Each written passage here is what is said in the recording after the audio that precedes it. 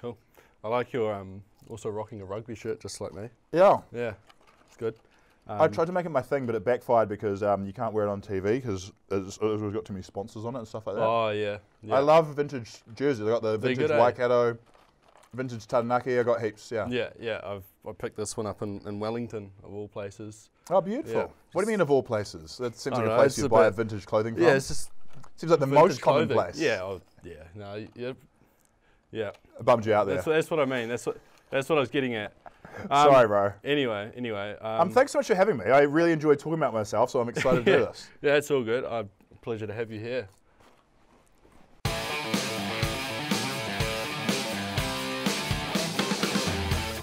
Cheers.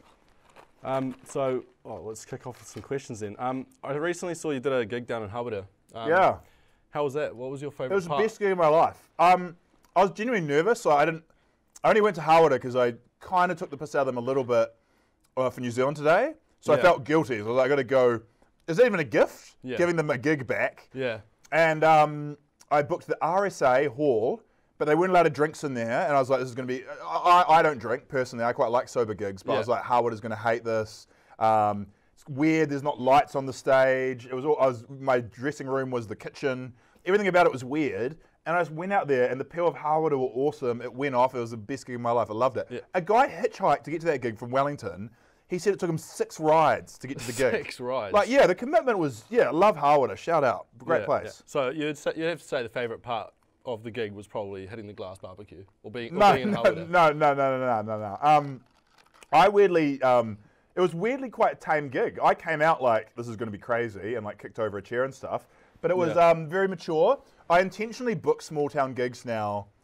Um, I I book them on like a Monday or Tuesday night because I found that Friday and Saturday are too uh, turned up. Yeah. Yeah, because yeah. there might be a few people there um, sampling the glass barbecue. Yeah, Yeah, yeah, possibly. yeah. Or just binge drinking, really. Yeah. Oh, I'm a do. There's nothing else to do, is there? Now, small town New Zealand, unfortunately, not. I think there is though. You got to get into mountain biking or hunting Yeah, or something. Been, I don't been know. there, been there. Go on the internet. Yeah. That's what I do. Yeah. It's yeah. fun. Um, anyway, so here, here at Waikato, we've got a um, might not surprise you, a Hilary Barry fan club. It just consists. That surprises me. That's very weird. it's, it's not, but anyway. No, it is weird. No, it's not. A Hilary not. Barry, the newsreader Hilary Barry. yeah, yeah, yeah. Yeah. That was Baz. Anyway, the only two members are me and one of the other editors. Um, do you have any thoughts on her? Like, what do you think of her? Oh, I um, well, I started in TV and was Hilary Barry was one of like the senior people at TV3, Mm. and she was a legend. I um, have always had a lot of time for her. She's a really lovely person. Have you met her? No, I haven't. Um, yeah. Do you have her cell phone number? No, no, I don't think I do. No. Could you get and it if no, if I had it, I would not give it to you. You're weird. You're we- you're giving me weird vibes. But also, when you're trying to contact a celebrity, don't say, "Do you have her cell phone number?" Like, just go. Is there a way? Like, maybe email her work email or something like that. No, we wanted a cell So phone. yeah, I know. I understand you wanted that. Yeah, that's, that's weird behaviour, and that's why you shouldn't have a cell phone number exactly for that reason. So, um, do you read the North Waikato News? You Um, probably don't. It's published in Huntly.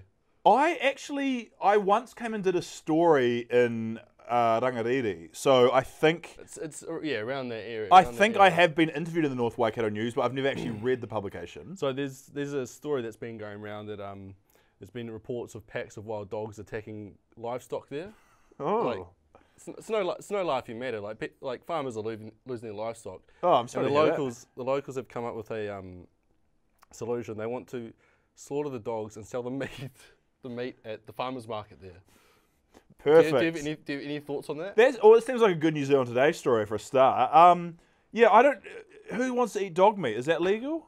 Is that allowed? Well, I don't know actually, but It makes you wonder, though, eh? But good on them. That seems like Kiwi ingenuity. And if they're killing your livestock and they're wild, and yeah, no one it, it, cares ma- for them. it makes sense because you know the Huntly bypass has probably taken away all business there. Like Yeah. people have been losing their jobs left, right, and centre. oh, that's sad. I, didn't- I didn't even think about that. The natural resources. I on hand. genuinely love Huntly as well. As someone from Nelson, where there's not a lot going on, I remember the first time I saw the Huntly Power Station. It's It's, majestic. it's big, eh? It's big. yeah. That's be their slogan. The power station. It's big. Huntly It's Power impressive. Station is big. For some reason, I like just big pieces of infrastructure, though. So I, I'm a big fan of the Huntly Power oh Station. yeah. It's beautiful. um, and they used to have a surf shop there. And that, always that was weird. They had a surf. they had Huntly surf skate snow. Yeah. And I can't think of anywhere that is worse, that's further away from surf, because New Zealand is really close to surf, except for Huntly. Yeah. Yeah. Further away from snow, you got to drive miles to get to the nearest mountain. And then even skating in Huntley, there can't be that much like nice asphalt. I'm sure there's like pow- paddle boarding or something on the Waikato River. No, even that, even that would be too powerful. I, w- I wouldn't step foot on that, to be honest. I just was very suspicious. I don't know what was going on at Huntly Surf Skate Snow, but every time I drove past it, I was like, what is happening in there? and whatever it is, it seems dodgy. Never saw it got get raided by the police or anything. Nah, nah, just drove past and just always was in awe of it, yeah. Yeah, fair enough. Fair enough. This is the um, most reclined interview I've ever done. Like, I'm, I'm not used to like laxing back. What newspaper, what publication is this for? Uh, Nexus magazine. Shout out to Nexus. Yeah. That's a weird name because there's also like a conspiracy theory like uh, Nutton magazine called Nexus. Do you Yeah. know that? Uh, no, I, don't I did an so. interview with the guy who does um, Uncensored is the New Zealand version, but Nexus is like expand your mind. 5G is taking over. Oh, kind of yeah, we- Nexus. Yeah, we're not allowed to talk about that. Yeah. No. Why not? Too I'm- controversial. No, I can't can't disclose that reason. so- Okay. Okay. I'm sorry to hear that. Yeah. It might might be something to do with the name, but Nexus. Oh, like you're like literally in a legal battle with them. no, no, we're not. We're not. um, Uh, it might be a fine magazine. I, I thought it was a conspiracy magazine though. why do you want to bring the NBA to New Zealand so badly? No, because so for people who don't know, they're relaunching the NBA in Florida, Yeah. right? Which is the epicenter of COVID, right? yeah, it for is, the world, right? It's so dangerous. Yeah. And it's like, for what? So they can play, because they've got hotels in Disneyland. We've got hotels in New Zealand. We could have the NBA in New Zealand. It would Mm. be amazing. Steven Adams, the ambassador, quarantine in Palmerston North, the safest place in the world, have games at Eden Park outside. It would actually go off. You could have crowds. What about if it rains? Yeah, move it, move it to the um, Spark Arena? Move it, move it to Spark Arena. Yeah, there you yeah, go. You're thinking. There you go. yeah. It's, it's actually a good idea. It annoys me. It annoys me that they're having it in Florida when they could have it in New Zealand. Wa- Wasn't there talks of the NFL doing the same? I don't think talks. I mean, maybe just. I a- just saw a rumor. yeah, when you see a rumor, you mean a guy tweeted Guy- it once. I think it was on the NZ Herald. To be fair, Yeah, but that's not a reputable news source. Oh man, I just. name a name a name a reputable news source. Uh, I think Radio New Zealand's pretty good. The Guardian Yeah, okay, that's good. Yeah. Yeah, and Nex- Nexus. Nexus. is good, Sorry, Nexus. as well. Yeah, yeah. Um, Are you are you studying journalism? no, no, no. Because I do wor- worry about the standard of journalism in New Zealand, just because I worked at TV3 when there was heaps of money and I saw what it was like and how in depth the journalists could go. And then now, where it seems like too many articles are written based on tweets, and I feel like that's what you read if it was no, NFL to I'm, New Zealand. I'm a, I'm a finance student. okay. Yeah, I just do this because I like writing. Oh, that's cool. So your real passion is finance. Uh, your, your real passion is writing, but Yeah. you're stuck in finance because you want to make No. money. Yeah, no, no, but I like both of them. I like both of them. Yeah. Do you, just because you want to make money, though, eh? I was like a weird kid too, and I, I tried to play golf because I wanted to be a CEO and stuff, and then I realized you want to be there's a a lot. There's a lot more. It's it's nice if you enjoy. Yeah, when I was a kid, yeah, I was Oh, weird. I wasn't cool. yeah, I wore- I wasn't I- cool as a kid either. Oh yeah, so I like um. I, I was just thinking this today. I I played golf and stuff like that, and then I realized I hate this. And I um was very lucky that at uni, and that's why I like uni. I was able to find what I enjoy, which was, you know, going and doing comedy, and that's how I got involved. Oh, cool. Yeah. See, if you had some normal questions, you'd be like, "Guy, what is the origin of your comedy career?" And I'd be like, "Fascinating story," but then I Well- told it to you well, anyway. Yeah, the basis of asking uh, questions not like that is probably because you Too probably cliche. Get, you, you probably get sick of them. Yeah, yeah, Yeah. yeah. I and I and in interviews, I don't get enough questions about packs of wild dogs in Huntly. So I'm glad that you're bringing the hard hitting stories. Cheers, bro. Um, what is the weirdest thing you did while intoxicated back in your student days? I don't drink, and I've never Oh. drunk. So the weirdest thing I did was never drink. It's quite Oh. weird, eh? Have you ever burned a couch?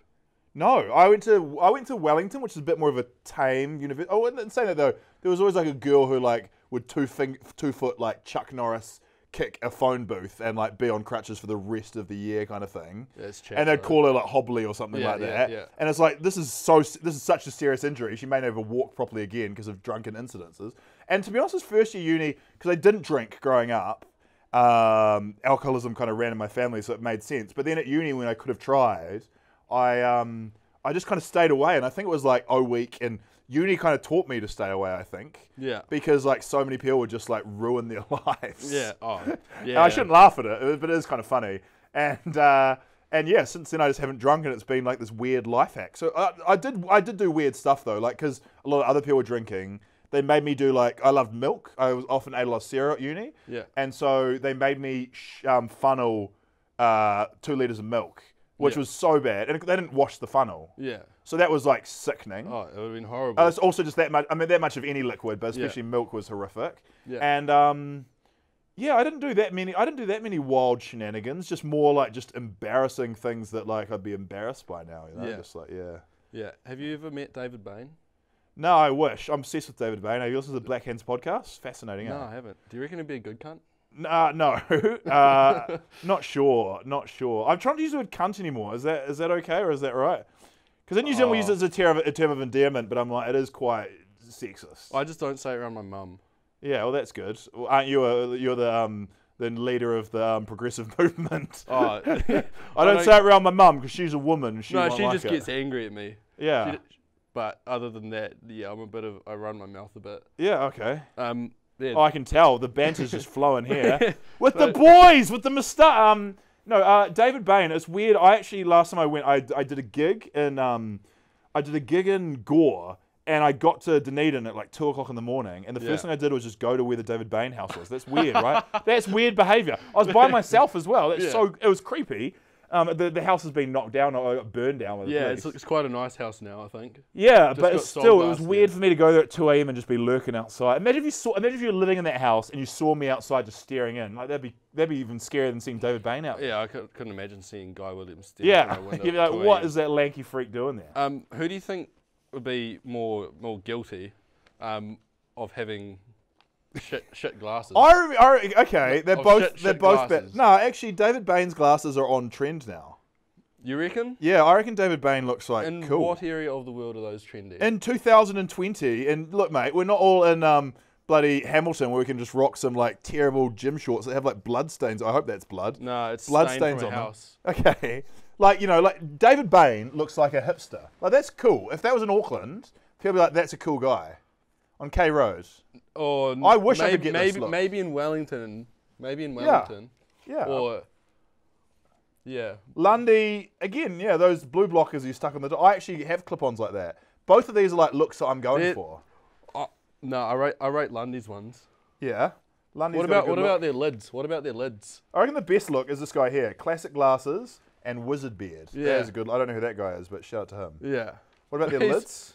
Their lids. Their haircuts. He's he's got a he's oh, they're both going bald. David Bain What- looks great. Uh, other guy, Lundy, not so much, I don't think. He's got this weird setup going down the middle. I don't, I don't really like it. Yeah, yeah. Oh man. Mind you, my- lid's pretty dusty, so I don't, I can't talk. Yeah. Yeah.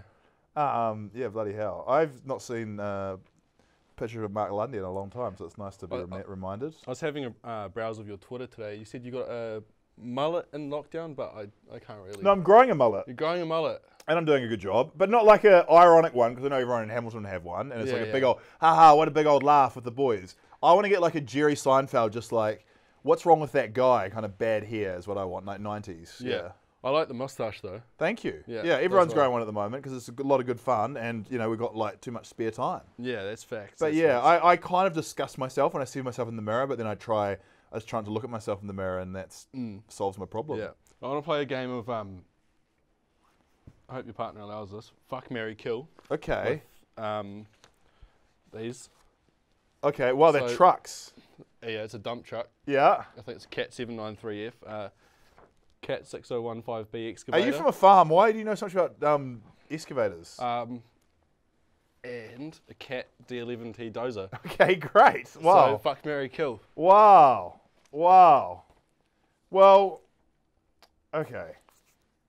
Oh wow! I don't even know. Okay, what you've actually bamboozled me here.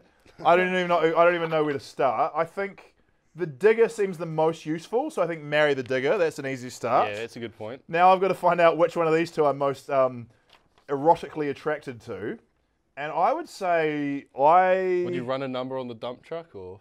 Well, I don't, know, them I don't even know what to know run a number means. There's two of them there. That could be a threesome. I really like these dump trucks, trucks, and as a kid, I like dreamed of like uh, the staircase on the front is so Yeah. cool. So I would say I'd like to make love to that dump truck, and then what was the other option? Kill. Well, I'll kill this one because it's the least cool of the three, I think. Yeah. Yeah. Damn. Damn. Why I, li-? I like the dozer. I'd probably kill the dump truck. Why do you? Why are you att- attracted to uh, heavy machinery? because they're cool. They're cool. They're cool. They're- okay, I never. yeah. gr- I, I, everyone's just a little boy inside.